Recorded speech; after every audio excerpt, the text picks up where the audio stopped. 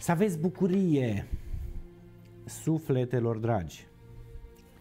Iată-ne într-o emisiune pe care vă dedic astăzi dumneavoastră, o emisiune care uh, tratează subiecte foarte actuale, subiecte pe care noi încercăm să le uh, înțelegem și chiar ne întrebăm dacă există în realitate sau sunt doar mituri.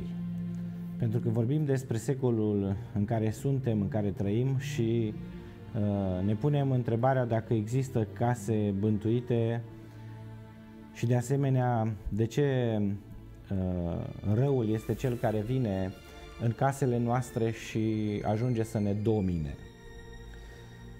Dacă ar fi să vă răspund la prima întrebare, dacă există case bântuite, vă pot uh, confirma că există.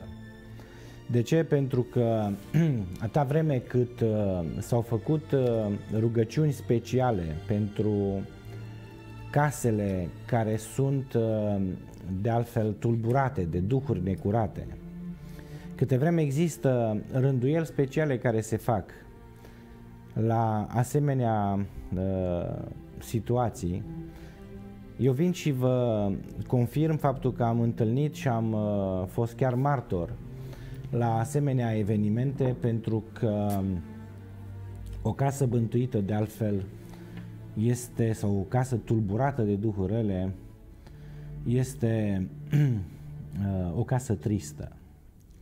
În acea casă, persoanele care locuiesc în ea se îmbolnăvesc, evenimentele și tot ceea ce înseamnă uh, traiul de zi cu zi este compromis, virusat. De ce? Pentru că oamenii de acolo sunt într-o continuă ceartă sau dacă nu sunt uh, neapărat într-o continuă ceartă, uh, se dezbină sau ajung să se îmbolnăvească subit sau să fie de altfel beneficiari în ghilimele a unor boli care nu pot fi explicate nici de medicina alopată și de, nici de medicina holistică, pentru că în medicina alopată, în medicina tradițională, se fac teste, se fac uh, investigații, uh, care sunt de altfel motivele ce au determinat uh, producerea unor uh, astfel de evenimente, ca omul să se îmbolnăvească, ca omul de altfel să devină uh, subiectul unei uh, suferințe la care nu s-a așteptat și mă refer la bolile incurabile sau la bolile care au în mod direct legătură cu supărarea. Se spune că dacă sufletul tău suferă, întreaga ființă suferă sau dacă tu ca și om ai o viață tristă, dacă tu ca și credincios, ca și om de rând, care ești mai mult sau mai puțin implicat în viața bisericească, ești prezent mai mult sau mai puțin la biserică sau ești prezent la anumite rânduieli sau ritualuri pe care biserica le are pentru sfințirea casei, dezlegarea de blesteme, de farmece, toate aceste lucruri au de altfel ca rezultat uh, ceea ce trăiți mulți dintre dumneavoastră și așa cum v-am vorbit în uh, emisiunea dinaintea celei pe care astăzi o ascultați, uh, toate aceste lucruri sunt reale. De ce? Pentru că ele pleacă de la momentul în care noi ne-am propus ceva și se spune că atunci când îți dorești ceva nu e bine să spui cu voce tare pentru că dacă ai vreo teamă, mulți aveți uh, obiceiul de a vă exprima această teamă. Mi-e teamă că nu o să-mi aprobe creditul sau mi-e teamă că o să mă dea afară de la locul de muncă sau mi-e teamă că nu o să-mi găsesc pe nimeni să mă pot căsători sau mi-e teamă că nu o să reușesc la examen sau în ceea ce mi-am propus. În acele momente, diavolul îți află această slăbiciune pe care tu, ca om, o ai și o manifesti și din momentul în care a aflat-o, va avea grijă ca aceasta să se materializeze și ea să devină realitate. Vă rog foarte mult să rețineți faptul că noi, de fapt, suntem ceea ce gândim de multe ori și avem uh, obiceiul acesta de a cădea în capcana răului pentru că suntem supuși slăbiciunilor omenești și gândirii virusate de multe ori de influența negativă ale unor personaje, cu ghilimele de rigoare, care au grijă să ne strice buna dispoziție sau bucuria pe care noi am acumulat-o sau o avem obținută de-a lungul vremii prin uh, frecvența sau frecventarea unor biserici care uh, ne cad așa drage sufletului nostru.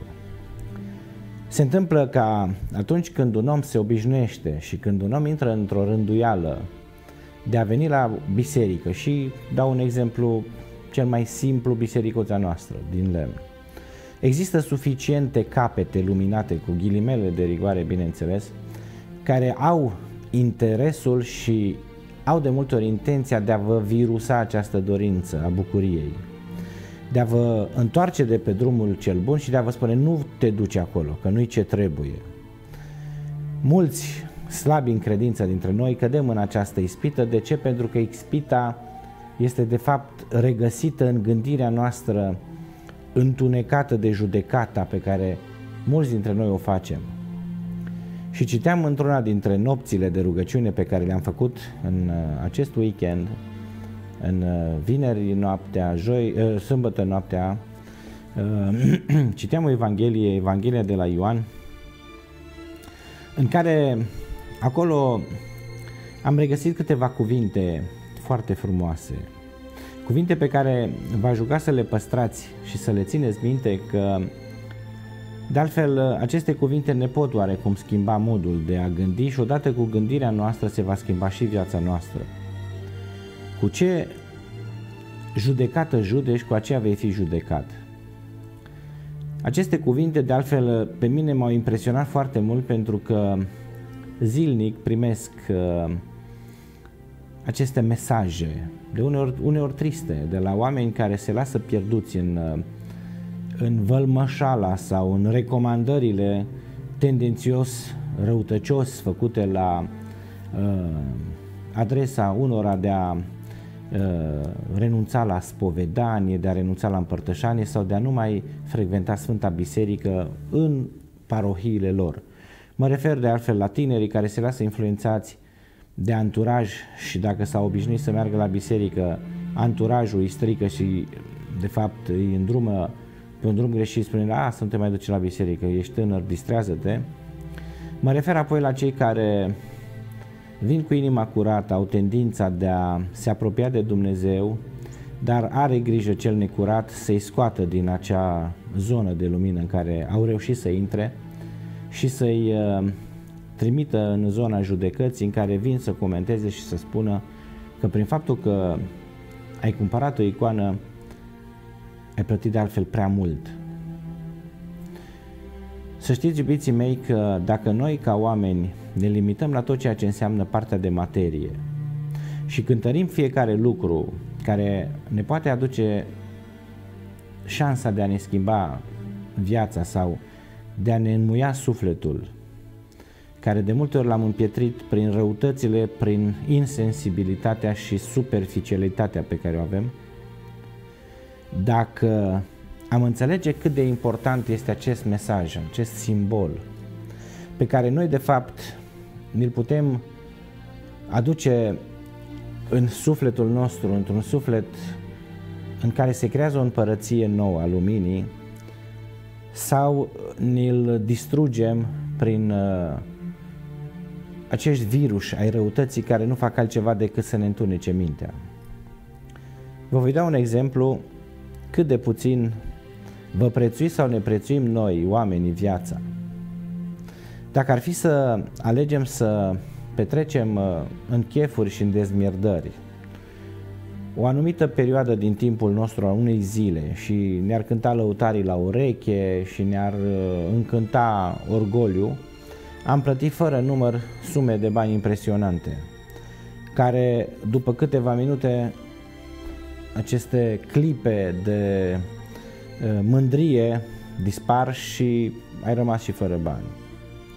Ceea ce am reușit să creez și ceea ce vreau de fapt să schimb în mentalitatea celor care mă urmăresc și care înțeleg că aceste emisiuni sunt pansament pentru suflet, cu excepția celor care, repet, uh, urmăresc această emisiune probabil cu dorința de a critica și atunci îi rog să își schimbe, să schimbe canalul pentru că această emisiune nu este dedicată oricui. Am repetat acest lucru și îl spun. Dacă veți reuși să vă schimbați puțin uh, gândirea și să prețuiți mai mult sufletul decât materia, veți vedea la un moment dat că lucrurile din viața dumneavoastră se vor schimba și veți sta departe de problemele care vin și care vă apasă sau care vă complică uneori viața cu propria voință. De unde apar complicațiile în viața noastră? De la gândirea noastră defectuoasă. O gândire defectoasă este aceea care nu înțelege că mai presus de materie, corpul acesta fizic pe care noi îl îmbrăcăm cu haine foarte scumpe, pe care noi îl aranjăm în fiecare zi să fie perfect, mai presus de tot ceea ce înseamnă materia este sufletul, pentru că sufletul este forța care nu ți aparține, este forța supremă, este darul lui Dumnezeu pe care El ți l-a dat ție ca tu să te bucuri, dar ți-a lăsat liberul arbitru să alegi. Alegi să fii în lumină sau în întuneric, alegi să fii fericit, fericită sau nefericită.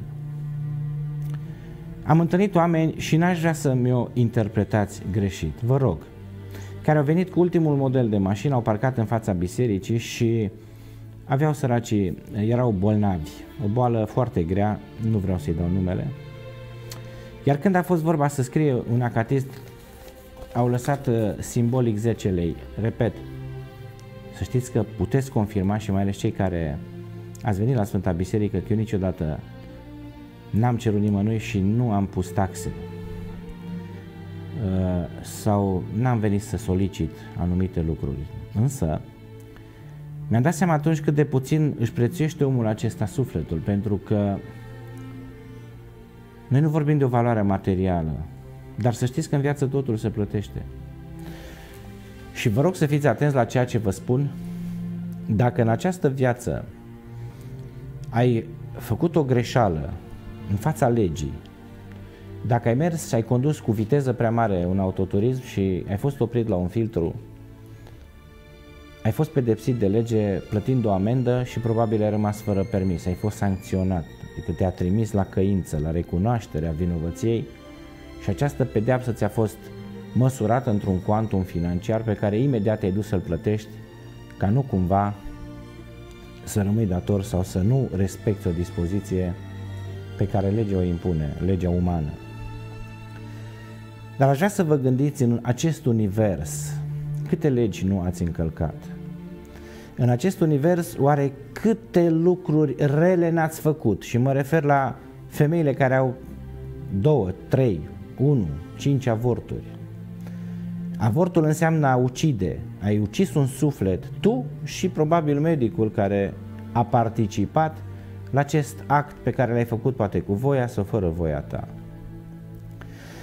Trecând și peste acest lucru, pentru că orice om care a greșit sau a fost nevoit într-un anumit moment să facă astfel de gesturi trebuie iertat și merită o șansă. Mă adresez și acelora care prin răutatea pe care au, o au și au folosit-o prin puterea funcției sau poziției sociale, au distrus destine. Au distrus oameni, poate au pedepsit nevinovat anumite persoane. Sau au ajuns să judece și să comenteze viața unor persoane care până la urmă aveau o menire și un scop – și să știți că fiecare om, inclusiv dumneavoastră, cei care astăzi mă ascultați, aveți o menire în această lume, un scop. De a realiza ceva, de a construi ceva. Eu pot să spun și de data asta iertați-mi lipsa de modestie. Dacă eu ca preot și duhovnic n-aș fi vorbit atât de mult, știu că va deranja pe mulți dintre voi, băi, preotul ăsta în fiecare emisiune ne vorbește de Sfântul Pangratie n-ați fi aflat niciodată despre Sfânt și n-ați fi avut, să zic, posibilitatea de a cunoaște valoarea și forța pe care o are acest Sfânt al dorințelor, de a tămădui, de a vindeca suflete rănite de a tămădui suferința și de a îndrepta anumite lucruri care teoretic le-am făcut greșit într-un anumit moment al vieții și au atras consecințe pe care astăzi noi le plătim prin suferință, prin copii bolnavi, prin uh, eșecuri, eșecurile de care ne-am temut de fiecare dată și iată suntem beneficiarii lor. De ce? Pentru că, așa cum vă spuneam, greșelile pe care noi le-am făcut de-a lungul vremii în univers, noi nu le-am plătit. Și să știți că ceea ce am spus și ceea ce spun și știința spune că totul se plătește în univers. Dacă astăzi ai făcut rău, vei plăti cu siguranță mai devreme sau mai târziu printr-o suferință care nu-ți va fi ușor să o depășești. Orice faptă rea pe care ai făcut-o se plătește cu cinci fapte bune. Și iată cum apare într-un anumit moment, întâmplător sau nu, la televizor un preot atipic, pentru că modul meu de a mă exprima, modul meu de a vă vorbi poate este diferit față de a preoților parohi pe care îi salut și pe care îi rog să se roage pentru mine și eu îi pomenesc pe toți pentru că în vizita de sâmbătă unde au venit câteva mii de pelerini să se închine la Sfânt, le-am mulțumit indirect prin mesajul pe care l-am transmis și preoților și înalților ierarhi pentru faptul că au în ascultare oameni atât de credincioși și vlavioși care au venit să se roage pentru liniște, pentru pace și pentru dragostea, pentru ca dragostea lui Dumnezeu să fie mai arzătoare, mai puternică și să avem capacitatea de a ierta și de a ne ierta unul pe altul și de a renunța la răutate. Și am, încep, am încercat să explic, așa cum încerc acum și dumneavoastră să vă explic, că această plată pe care noi o facem în univers, la un moment dat, avem posibilitatea să o plătim printr-o jerfă de binefacere sau printr-o boală prin care te duci la medic, îți scrie o rețetă și plătești la farmacie, pentru că așa este sigur necesar ca să cumperi anumite pastile, să te faci bine. Am încercat să spun de fiecare dată atunci când am vorbit de Sfânt și să vă exprim cu toată dragostea și sinceritatea rugămintea de a ne ajuta să construim racla Sfântului, pe care în mod normal ar fi trebuit să o avem terminat acum pe 26 martie, să o avem plătită, însă trebuie să înțelegeți, iubiții mei, că fiind foarte scumpă și nu-mi permite uh, nu-mi permit regulile televiziunii să exprim suma, și cât costă, dar imaginați-vă că la 10 kg care le are aproape din argint și dimensiunea și frumusețea ei Casa Sfântului, unde vor sta moaștele Sfântului, costul este pe măsură. Nu am reușit și vă spun așa cu un suflet trist să avem toată suma necesară ca să o putem achita și să vă bucurați de ea, însă rugându-L pe Sfânt Am primit acel mesaj că nu vor trece 10 zile și cineva, cineva de undeva, o persoană foarte puternică va veni și va spune, Părinte, vă ajut să o terminați pentru că ceea ce trebuie să înțelegem, această raclă nu o fac ca să o duc în dormitor sau să o duc în sufragerie la mine acasă, ci este de fapt o realizare a bunătății și a dragostei pe care dumneavoastră credincioși ați făcut-o participând cu bună voința dumneavoastră la construirea ei și la tot ceea ce are legătură cu frumusețea ei. Vă promit că în ziua în care o să o aducem voi filma acest uh, mare dar al bunătății dumneavoastră și vi-l voi prezenta la televiziune ca să vedeți și să vă bucurați împreună cu noi de realizarea pe care am făcut-o aducând românilor și trezind în sufletul uh, românilor dragostea față de Sfântul care era atât de necunoscut, serbat pe 9 iulie, Sfântul Pangratie. Unde apare piedica sau blocajul în viața noastră? Apare în momentul în care am judecat.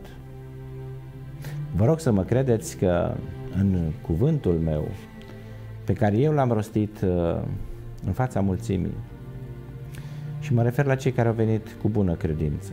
Am explicat cât de important este darul timpului pe care l-ai alocat rugăciunii și deplasării să te duci la o biserică să te rogi, dar totodată am explicat cât de important este sau cât de importantă este jertfa pe care tu ca om o faci atunci când ți se cere ajutorul și atunci când ești rugat să ajuți la construirea unei racle și la construirea de fapt unui uh, simbol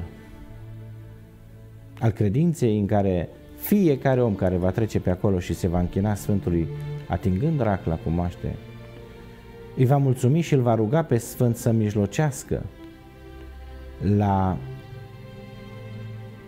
îndeplinirea cererii, la a scăpa de duhurile cele rele, pentru că în multe case bântuite de duhuri rele, acolo unde a ajuns Sfântul pus pe perete, așa cum vi se explica și în emisiunea dinaintea celei de acum, s-au întâmplat multe lucruri minunate. Sfântul a răspuns dorințelor celor care îi cereau ajutorul și Sfântul a răspuns de fapt acelor oameni care n-au chipzuit sau n-au gândit atât de mult că vai ce scump este acest dar pe care eu mi-l fac de fapt sau mi-l aduc sufletului meu. Aș vrea doar să știți un singur lucru, că există o întrebare pe care vă adresez astăzi dumneavoastră. Fericirea are preț? Liniștea are preț? Și vă spun că nu. Toți banii din lume pe care i-am avea sau i-ați avea cei care astăzi ascultați această emisiune nu pot acoperi și nu pot vindeca rana unui suflet suferind.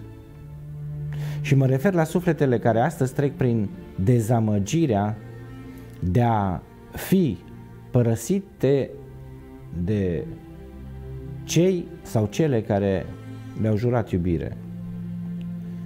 Cele mai multe probleme sunt legate de iubire.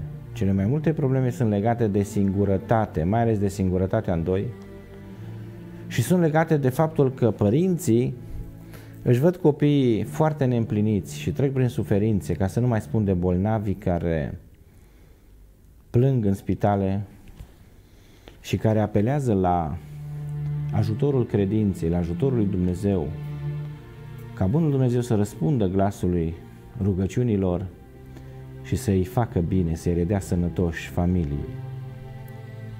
Să știți, iubiții mei, că în această viață, așa cum v-am spus, totul se plătește și nu te va judeca Dumnezeu atât de mult pentru păcatele tale, cât te va judeca pentru un bine pe care l-ai putut face și nu l-ai făcut. Este trist să vezi că dintr-o țară întreagă, unde sunt 20 de milioane de români, nu s-au putut găsi suficient de mulți oameni care să poată acoperi o jerfă care nu era atât de mare, de a construi o raclă, de a se putea acoperi cheltuielile celor 12 apostoli care încercuiesc Sfânta Biserică.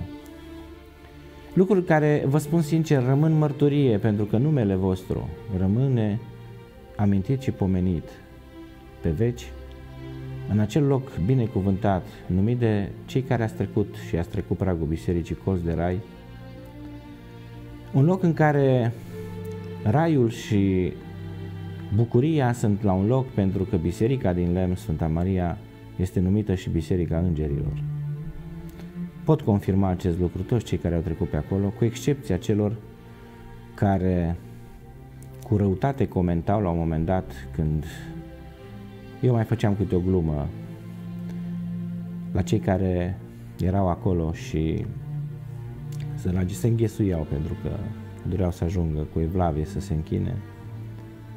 Cei de dincolo de poartă comentau urât și vorbeau urât. Și eu auzeam aceste lucruri și mă durea sufletul și am spus, Doamne, dar ce mai vii la biserică dacă tu, ca om, vii cu astfel de răutăți, să comentezi și să judeci ceea ce, de fapt, este mai presus decât valoarea ta care este îndoielnică ca om câtă vreme n-ai capacitatea să înțelegi că dacă n-ar fi fost oameni de sacrificiu care să construiască edificii, să construiască biserici, să construiască lucruri importante, astăzi noi n-am fi avut nimic. Nimic nu s-a construit în această lume fără sacrificii. Nimic nu s-a construit în această lume fără participarea unor oameni care au gândit proiecte, care le-au susținut și care le-au finanțat și le-au redat de fapt lumii ca noi să ne putem bucura de ele. Este ușor să stai în afară, să privești lucruri, să te închini, să te minunezi și să judeci. Aș vrea să-i rog pe cei care judecă și care comentează că e scump atunci când vor să cumpere ceva, ceva pentru sufletul lor și nu mă refer doar la icoana Sfântului Pangratie, nu mă refer, mă refer la cei care mergeți în pelerinaje, la cei care cu zgârcenie plătiți ceva când uh, e vorba de suflet. Cui lăsați toți banii și toată averea pe care o adunați? Pentru că vă amintesc de marele împărat Macedon care spunea că atunci când va fi îngropat, să fie îngropat cu mâinile la vedere, să arate lumii că gol a venit și gol se întoarce.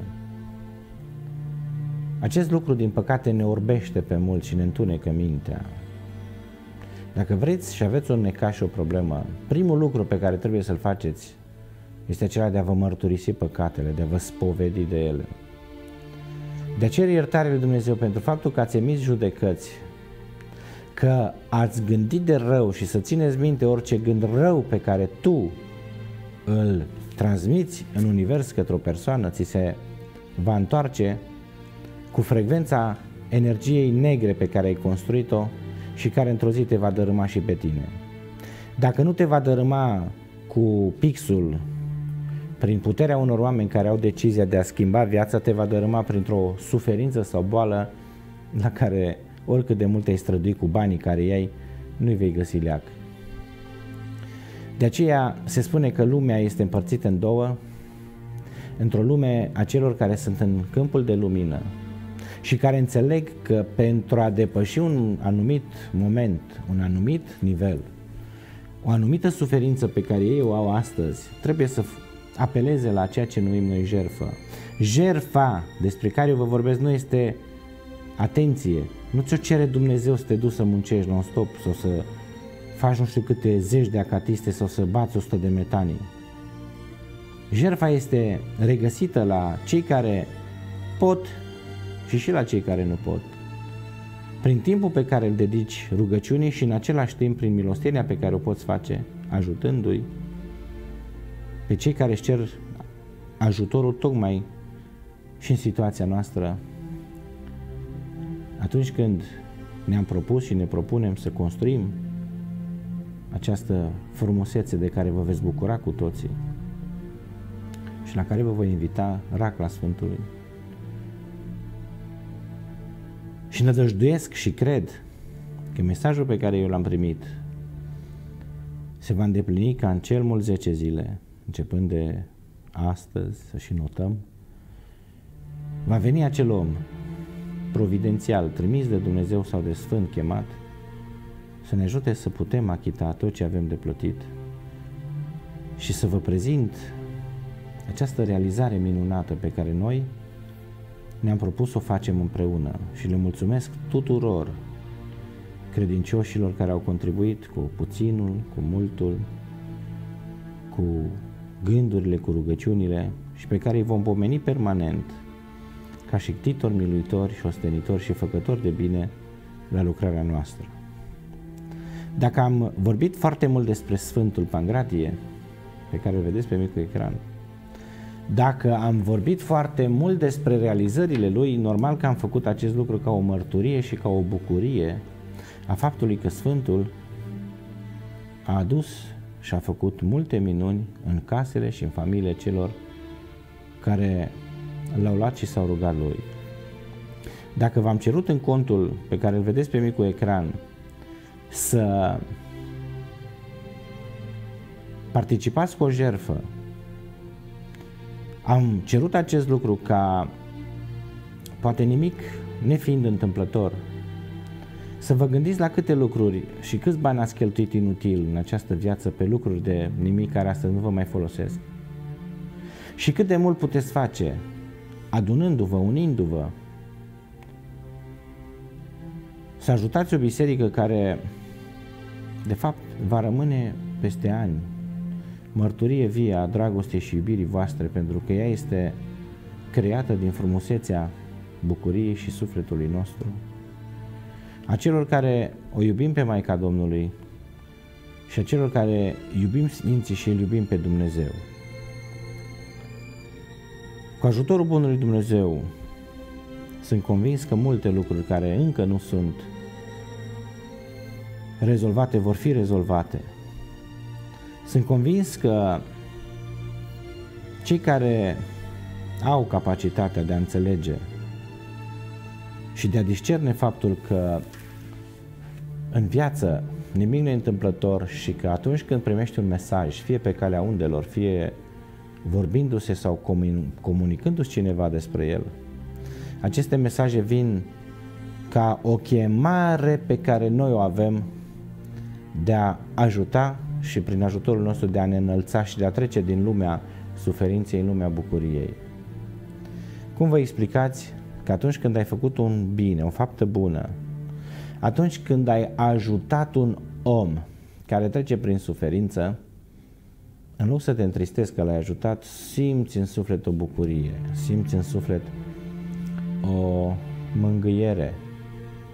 Și răspunsul pe care eu l-am aflat de la mari duhovnici pe care i-am întâlnit și întâlnesc prin lumea aceasta pelerinajelor, este următorul. Când ai făcut o faptă bună, îngerul tău păzitor se întâlnește cu îngerul păzitor al persoanei pe care tu ai ajutat-o și atunci se realizează acea bucurie nevăzută pe care tu o simți și o trăiești și ești încântat și mulțumești de Dumnezeu că ai reușit să o faci. Cei care astăzi treceți prin suferințe, cei care astăzi treceți prin încercări, vă rog să renunțați la a mai judeca. Vă rog și credeți-mă, mi-aș dori ca această emisiune să o asculte toată lumea. Să nu mai puneți la păcatele și greșelile pe care le aveți moștenite din neam încă un păcat mare de a judeca sau de a cântări că este prea scump sau e prea mult sau e nu știu cum ceea ce de fapt ți s-a recomandat să duci în casa ta sau să preiei în casa ta ca binecuvântare, așa cum am vorbit și de icoană și de pachetul bucuriei.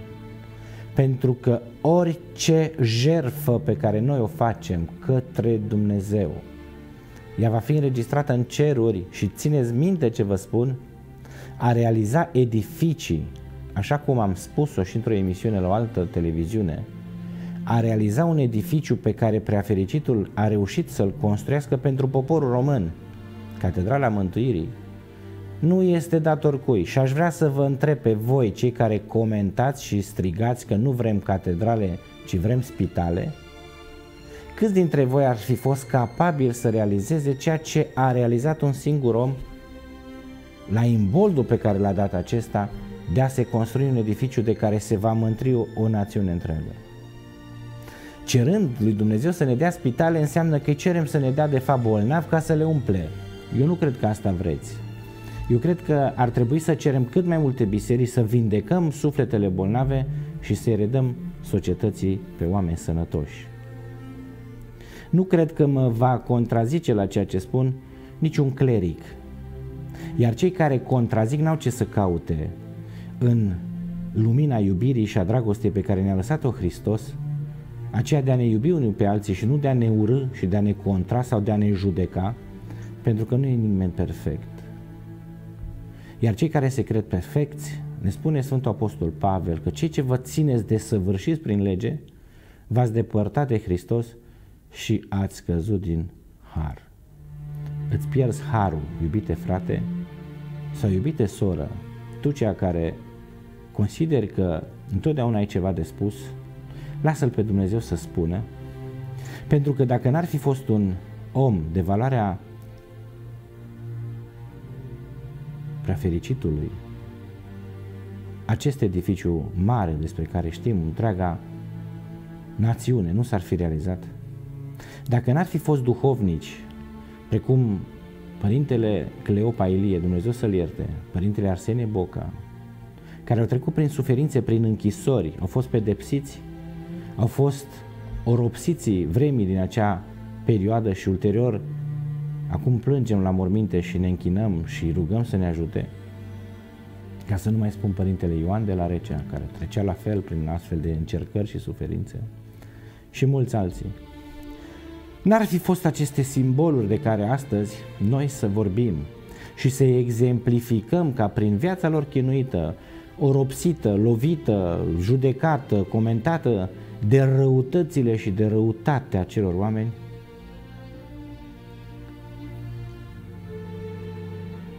Dacă acești oameni ar fi fost, noi astăzi am fi fost săraci. Eu, ca preot, poate mulți dintre confrați și poate mulți dintre dumneavoastră ați analizat puțin uh, această idee, probabil, care vi s-a părut uneori exagerată și îmi cer scuze, de a vorbi atât de mult despre un sfânt, dar dacă în această perioadă a vremii, în acest moment dificil prin care trece lumea, n-aș fi vorbit despre Sfântul trecut în calendarul ortodox, sărbătorit pe 9 iulie, Sfântul Pangratie, Sfântul Dorințelor, poate n-ați fi aflat niciodată de el. Și cu atât mai mult dacă n-am fi apelat la bunăvoința dumneavoastră de a-i construi căsuța, din care o părticică aveți și dumneavoastră acolo. Să țineți minte ce vă spun. O bucățică din acea raclă va aparține bunătății. Astăzi acest lucru nu s-ar fi realizat și lucrurile acestea ar trebui să vă rămână în mintea dumneavoastră ca dar al bucuriei, pentru că, repet, nu îmi iau racla să o duc în sufragerie sau să o duc acasă, ci va rămâne într-o biserică în care poarta este deschisă și voi puteți veni să vă închinați și să vă rugați. Și de asemenea, vă va rămâne în casa voastră un sfânt, Sfântul Pangratie, care lângă ceilalți sfinți vă va aduce odată cu el, iubiții mei, bucuria și binecuvântarea. Să știți că fiecare sfânt are rolul protecției pentru o anumită problemă care ți s-ar putea ție întâmpla în viață. Și nu știu dacă ați știut acest lucru, dar vă voi spune că fiecare sfânt, și sunt zeci, are rolul lui în acest univers, în această lume. Sfântul Nectarie, pe care îl avem în București, este, iată, ajutător la cei care sunt bolnavi. Sfântul Efrem este ajutător la cei bolnavi de diabet. Sfântul Vasile este izgonitor de demoni. Sfântul Pangratie este sfânt al dorințelor. Sfânta Parascheva este o sfânta mângâierii. Sfânta Filofteia este sfânta tinerilor. Sfântul Stelian este sfântul doamnelor care vor să aibă copii și multe, multe, multe alte exemple. Ei, gândiți-vă la faptul că dacă un sfânt îl ai protector în viața ta, acel sfânt apelează la ajutorul divin, rugându-L pe Dumnezeu ca dorința ta să devină realitate, dar dorința noastră pe care noi o avem trebuie să fie una sinceră, venită dintr-un izvor al bunătății. Nu se poate să vii cu mâinile în buzunar, să stai în biserică, să te uiți la icoane și să pufnești. Cam scump. La ce mai vii? Te poți duce la un film, te poți duce la un restaurant unde te servesc cu spătarii. N-ai ce căuta în această lume a frecvenței înalte, în care iubirea, în care bucuria și pacea se întâlnesc, în care iubirea, dragostea de care ai nevoie, îți vin în casă prin propria ta voință, pentru că ai depășit mental acest mod poate defectos de a privi lucrurile și de a cântări anumite lucruri care îți pot da valoare sufletului tău. Sufletul unui om este valoros în momentul în care acesta înțelege că mai presus de materie este spiritul. De ce? Pentru că sunt multe persoane care arată perfect, au un corp sculptat, cheltuie sute, mii de lei pe îngrijirea corporală, pe haine scumpe și care atunci când deschid gura și îți spun două vorbe, îți vine să o iei la fugă și nu știu unde să te ascunzi pentru că tot ce e aici, calculatorul este foarte virusat. Eu nu cred că o domnișoară, oricât ar fi de atrasă de fizic, de corp, ar putea trăi o viață întreagă lângă un tânăr sau un bărbat care atunci când ar deschide gura ar folosi cuvinte triviale, ar uh, exprima violență prin cuvinte și ar încerca prin aroganța care o are să demonstreze că el este buricul pământului.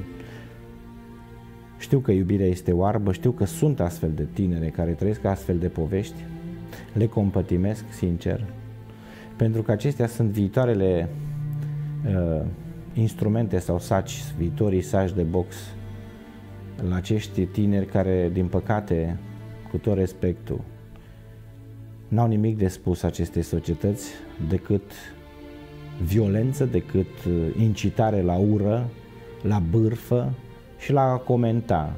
Exact precum știm prea bine că există această tradiție a unor oameni lipsiți de minte, că nu pot să spun altfel, care atunci când văd un preot îl scuipă sau scuipă în sân că nu știu ce le-ar aduce și că dacă îți trece pisica, dacă iese cu găleata goală, tot felul de superstiții care te pot influența. Da, te pot influența. Doar dacă tu gândești în acest sens.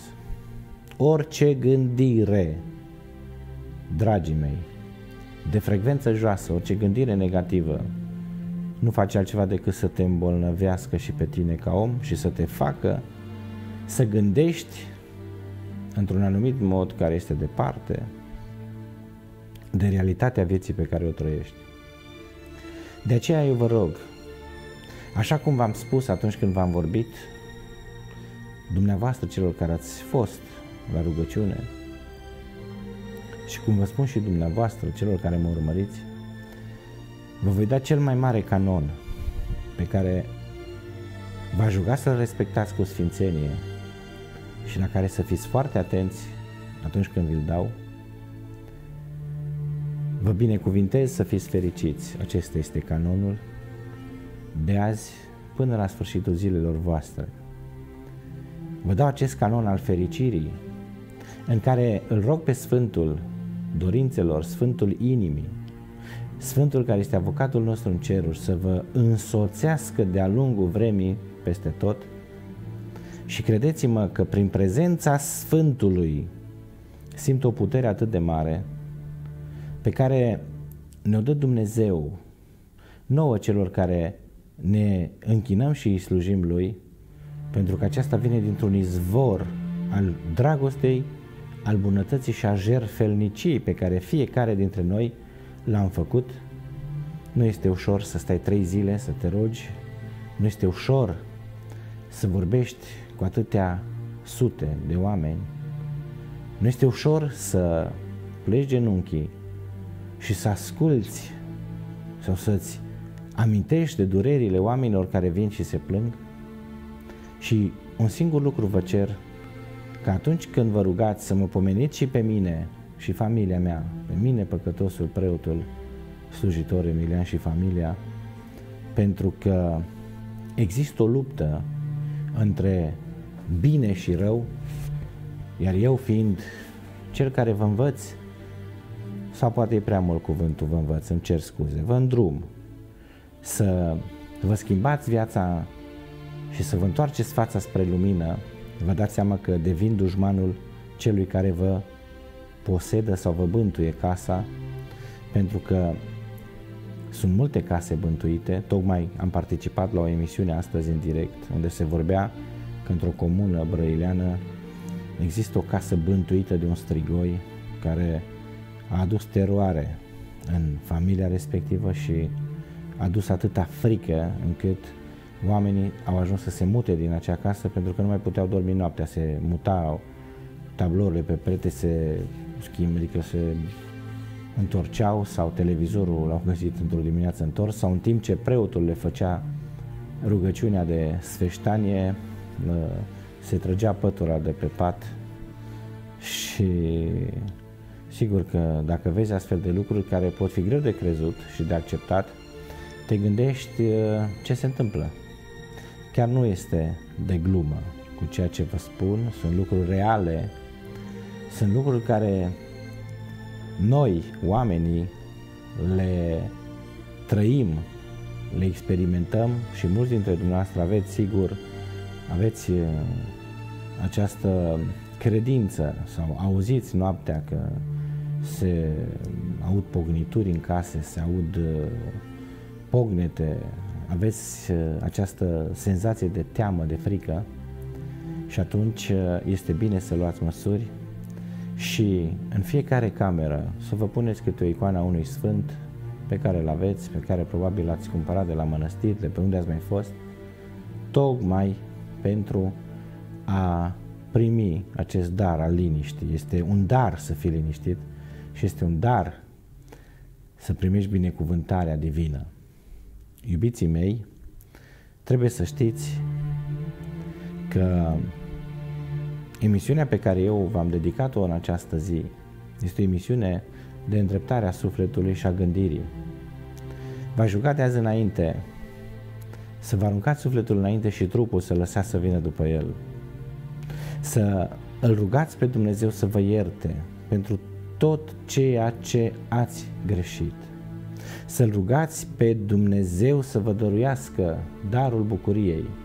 În această carte pe care o vedeți pe masă, vedeți și veți găsi Acatistul Sfântului Pangratie, pe care nu-l găsiți în alte cărți, îl găsiți pe internet doar canonul, doar că Acatistul Sfântului nu îl îl găsiți, vă juca ca zilnic, timp de 10 zile, să-l citiți pentru problemele pe care le aveți și să-l rugați pe Sfânt să vă rezolve sau să vă ajute în rezolvarea problemelor care nu au putut fi rezolvate.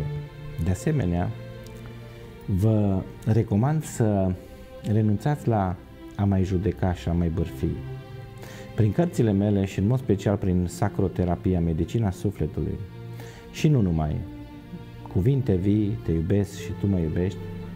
Am încercat să vă explic cât de diferit este universul în care dumneavoastră e lumea în care trăiți, dumneavoastră și lumea în care eu de fapt vă rog să veniți și vă poftesc în această lume a frumuseții sacre, a iubirii și a dragostei.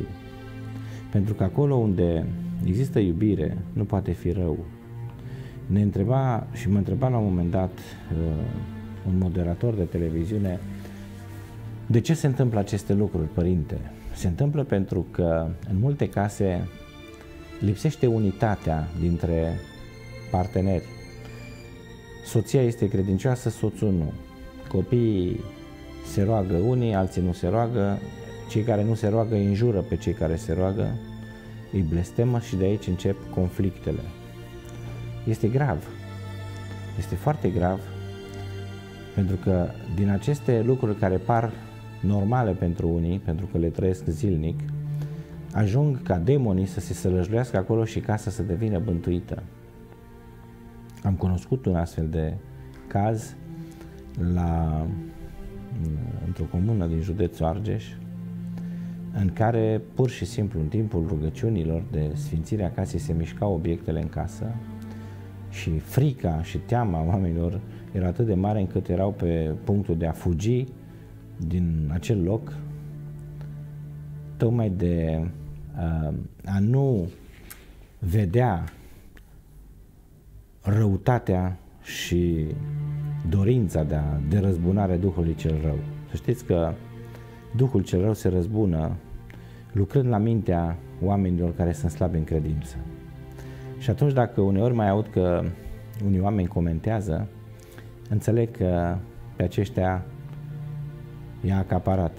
De ce? Pentru că, să nu uităm, spune și știința că diavolul are doctorat. Se joacă cu mintea noastră. se joacă cu gândirea noastră și ne transformă de multe ori în uh, acel uh, uh, câmp de energie care ne distruge atât pe noi, dar îi distruge și pe cei de lângă noi, prin influența negativă pe care o exprimăm. Aș vrea doar să vă spun că un mare secret la reușita pe care toți merităm să o avem în viață este regăsit în iertare. Eu i-am iertat pe toți cei care poate au gândit de rău. Să iertați și dumneavoastră pe toți cei care vă judecă și vă vor răul. Să iertați și pe cei care v-au supărat, pentru că darul iertării nu este dat oricui. Și mi-amintesc doar de un singur lucru, că eram mic, copil, ucenic, când la Părintele Ioan de la Regea, în catedrala din Târgu Mureș, de la mănăstirea din Târgu Mureș, de lângă Târgu Mureș, de la Recea, în timp ce vorbea părintele, s-a oprit din slujbă și a strigat în gura mare Vasile, vino la mine. Toată lumea vă dați seama care Vasile, se uita unde este Vasile și l-a chemat în față și a venit acel om și a zis, Vasile, mai ții minte când eram la Iud închis? Tu ai fost cel care mi-a dus multă suferință. Dar pentru toate acestea te-am chemat să ne, să ne împăcăm, să ne uh, iertăm unul pe altul. Eu te-am iertat de atunci, știu de ce ai venit. Și omul a căzut în genunchi și a plâns pentru că avea copilul foarte grav bolnav. Și a spus, prin faptul că astăzi ai venit la Sfânta Biserică și a vrut Dumnezeu să ne reîntâlnească după 40 de ani, Du-te liniștit acasă și vei vedea că copilul tău se va însănătoși prin puterea și darul lui Dumnezeu. A început să plâng, eu am fost martor și, într-adevăr, copilul acelui om s-a făcut bine. De ce aș vrea să rețineți aceste lucruri? Că în viață, dacă vrei ca ceva bun să se întâmple, fă această jertfă de ierta. Ajută pe cei care au nevoie de ajutor. Fii prezent la Sfânta Biserică și fii prezent și în rugăciune, pentru că acum voi închide această emisiune cu rugăciune, nu înainte de a vă invita să veniți la Sfânta Bisericuță, la Bisericuța din Lemn, Sfânta Maria din Voluntar Pipera, cu intrare de pe drumul negru, să vă închinați și să vă rugați la Sfântul Pangratie, la Sfântul Dorințelor, pe care l-ați văzut și îl vedeți aici. Slavă Tatălui și Fiului și Sfântului Duh, și acum și pururea și în vecii vecilor. Amin. Tatăl nostru care ești în ceruri, sfințească-se numele Tău, vie împărăția Ta, facă-se voia Ta precum în cer, așa și pe pământ. Pâinea noastră cele toate zile, dă-ne-o nouă astăzi și ne iartă nouă greșalele noastre, precum și noi iertăm greșiților noștri. Și nu ne duce pe noi în ispită, ci ne izbăvește de cel rău, că este împărăția și puterea și slava a Tatălui și a Fiului și a Sfântului Duh, acum și pururea și în vecii vecilor. Amin. Dumnezeu să vă binecuvinteze, să fiți binecuvântați și să aveți pace de bucurie, de liniște și de tot ceea ce vă doriți. Sfântul Pangradie să vă ajute. Doamne ajută!